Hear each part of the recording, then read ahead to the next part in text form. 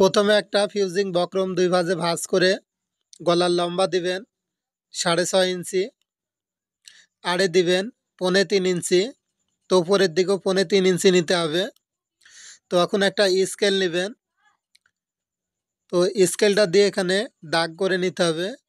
তো দেখুন, আমি যেভাবে দেখাচ্ছি, ঠিক এইভাবে স্কেলটা নেবেন।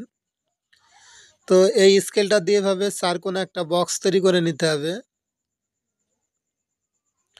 তো এইভাবে বক্সটা তৈরি হয়ে গেলে ডিজাইনটা করার জন্য উপরের থেকে আড়াই ইঞ্চিতে একটি চিহ্ন করে নেবেন।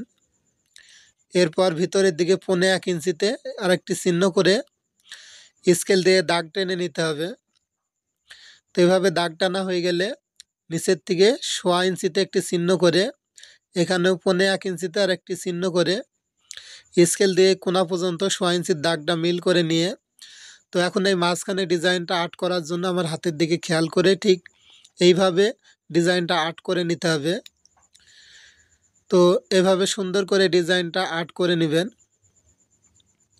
এরপর ডিজাইনটা হয়ে গেলে এখানে বারটি বক্রম নেবেন এক ইঞ্চি। তো এক ইঞ্চি বক্রমটা এভাবে সুন্দর করে কেটে নিতে হবে। তো এভাবে দাগানো হয়ে গেলে এখন গলার ডিজাইনটা সুন্দর করে কেটে নেবেন। তো ভ্যাস, ভিডিওটি ভালো লাগলে অবশ্যই ভিডিওতে একটি লাইক দিবেন। নতুন হয়ে থাকলে পেজটি ফলো দিয়ে রাখবেন। তো আয়রন দিয়ে এভাবে বসিয়ে নেবেন একটি বাড়তি কাপড়ের উপরে। তো এবার বাড়তি যে কাপড়গুলা থাকবে দুইশো পরিমাণ রেখে বাকি কাপড়গুলা এভাবে সুন্দর করে কেটে দিবেন। দিয়ে মাথাটা এভাবে মুড়িয়ে সুন্দর করে সেলাই করে নিতে হবে। তো এভাবে আস্তে আস্তে সুন্দর করে সেলাইটা করে নেবেন। তো এভাবে বাড়তি কাপড়গুলা কেটে দিবেন। তো এভাবে কাটা হয়ে গেলে ঠিক মাঝখানে একটা চিহ্ন করে, তো দেখুন জামার মাঝখানে একটা চিহ্ন করেছি, এই চিহ্নর বরাবর ঠিক মাঝখান দিয়ে সেলাই দিয়ে কাপড়টা আটকে নেবেন। তো এখন বক্রমের ঠিক পাশ দিয়ে সুন্দর করে সেলাই করে নিতে হবে। তো এখানে খেয়াল রাখবেন যেন বক্রমের পর কোনো সেলাই না পড়ে।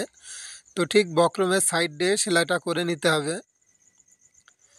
তো এভাবে ঘুরিয়ে ঘুরিয়ে সুন্দর করে সেলাইটা করে নেবেন।